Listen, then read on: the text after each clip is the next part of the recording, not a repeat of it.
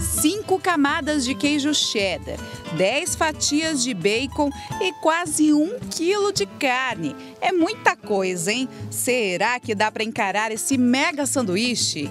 Não. Muito grande, papo. É, muito grande e eu ia parar no meio. Camila, não dá conta? Não consigo, mal dou conta de comer o normal.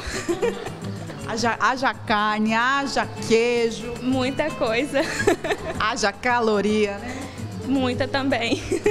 O Arthur come um desse inteiro sozinho. Dá para acreditar? Para comer um Robert como esse aqui, você tem que comer ele em camadas, né? Porque é bem difícil segurar os cinco hambúrgueres, né? Os 10 queijos cheddares e os 10 bacons, né?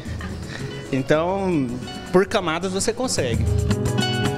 Ele até suou, mas não é que comeu tudo mesmo? E agora foi, terminei, terminei, galera.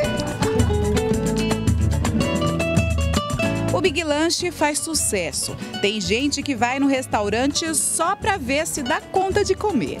Acho que eu consigo. Acho, né? Vou tentar. Vou tentar, eu me preparei bastante pra isso.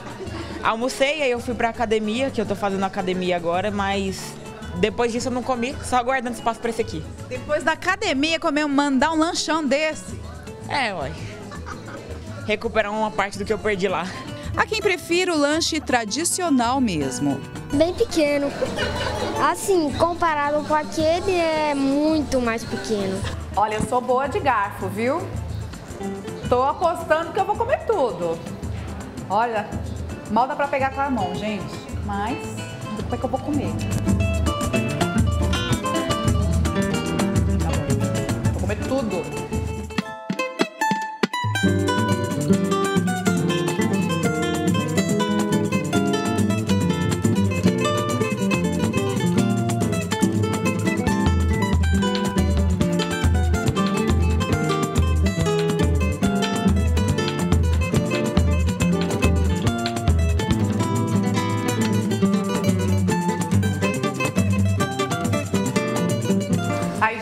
Tudo, não falei? Sobrou nada, ó. Só deixei a batata. Não é só a hamburgueria que investe no exagero. Nesse pit dog também tem a versão mega do X-Tudo. São dois x-tudo num pão. E o goiano, ele gosta e merece essa fartura. É um carinho, é um mimo.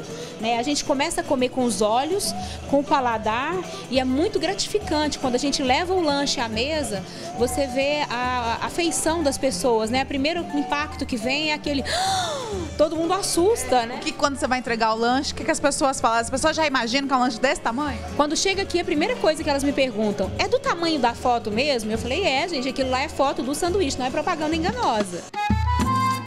O Jacó montou o primeiro pit dog de Goiânia há 50 anos. Ele não imaginava que ao longo do tempo o tamanho dos lanches aumentaria tanto.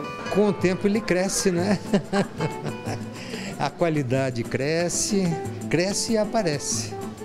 E a fome aumenta? E a fome aumenta.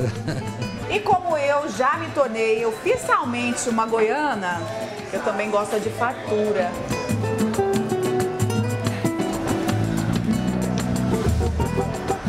tem nada melhor que comer nessa vida, não.